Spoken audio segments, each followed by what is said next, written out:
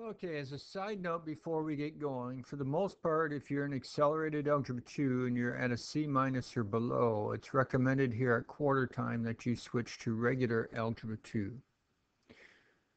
Okay, so now we'll get on to dealing with square root functions and graphing square root functions and graphing inequalities. Now remember, whatever's inside of your root can't be negative. So what's inside your root has to be greater than or equal to 0. So we're going to take what's inside of our root, set it to be greater than or equal to 0. If we solve that, that's going to tell us what numbers we can put in, which would be our domain. So we'll go ahead and add 1 to both sides, multiply both sides by 2 thirds, or you could divide it both sides by 3 halves, but remember dividing by a fraction is multiplying by the reciprocal. That's your domain. Your range is what you get out. Now here we're getting out, there's no plus or minus in front of your root, so we know we're getting out positive. So we're not getting out negatives. If you're not getting out negatives, that means you're greater than or equal to zero. So looking at your axes here, if we were looking at a graph, if you're looking at your x-intercept, where you're crossing the x-axis, that means you're not up and down at all. That means your y value is 0. So if I come up here and plug in 0 for y, all I'd have to do is go ahead and solve this.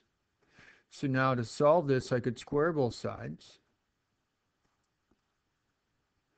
Then I'd go ahead and add 1 to both sides. And then I get rid of that timesing by 3 halves, so I would divide by 3 halves or multiply by 2 thirds, and I get 2 thirds.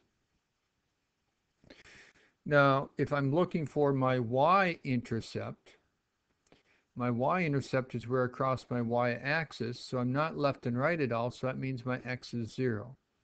So all I'm going to do is go here, plug in 0 for x to figure out my y. If I plug in 0 for x, it doesn't work. Because remember, our domain said we had to start at greater than or equal to 0. I mean, sorry, greater than or equal to 2 thirds. Our x being 0 for your y-intercept is not in that domain, so there is no y-intercept. Now, you could have tried to work it out by plugging in 0, and you get the square root of negative 1. Square root of negative 1 will not show up on your xy coordinate system. So see if you can go ahead and find all that for our second problem here. Once again, your domain, whatever's inside, can't be negative.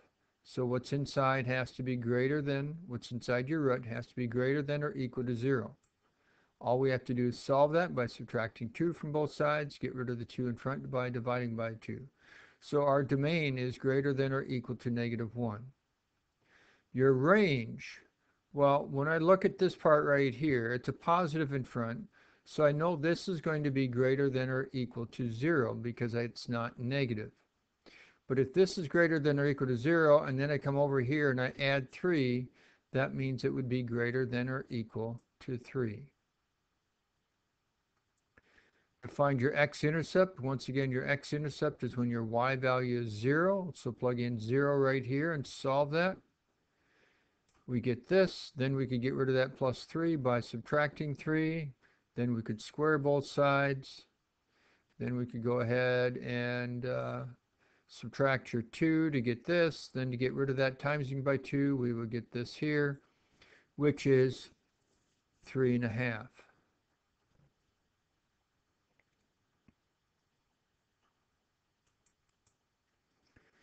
Now remember that when you are solving radical equations and you end up squaring both sides, you actually need to check your answer into the original to see if it would work.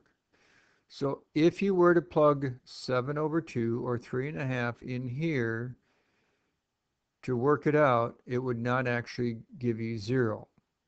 It would end up giving you a 6 is equal to 0, which doesn't work, so that's why it's no solution. So you may have to go ahead and check your answers like that. Your y-intercept, once again, is when your x is 0. So all we have to do is come up here and plug in 0 for x. Now, that we know it makes sense because we're trying to plug in 0. Our domain was anything greater than negative 1, which that is. So we just plug in 0 here. We get the square root of 0 plus 2, or the square root of 2, plus our 3.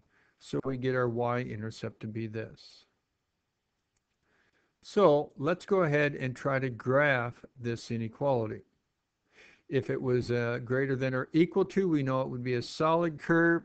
If it's just a greater than, we know it would be a dotted curve. Similarly, for less than or equal to would be solid. If it's just a less than, it would be dotted. If it was an equal to, we know we wouldn't be shading, we'd just have a curve. First thing I want to do is find my domain. So remember, whatever's inside my root can't be negative. So what's inside of my root has to be greater than or equal to zero.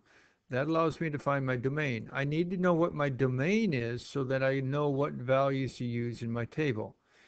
And in this case, I get greater than or equal to negative 5 thirds. So I'm going to start out at negative 5 thirds. And then I'm going to just choose nice normal numbers that are greater than that because we got to be greater than or equal to that. And so then all I'm going to do is make myself my table. I could either plug these in by hand or use my calculator, putting this into my y equals.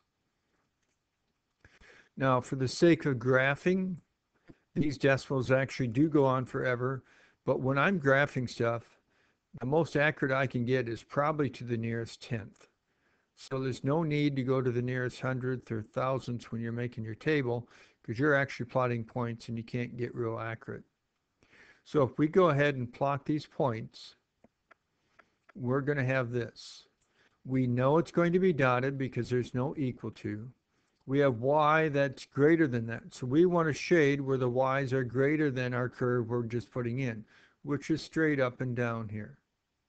Now notice your shading only comes over to here.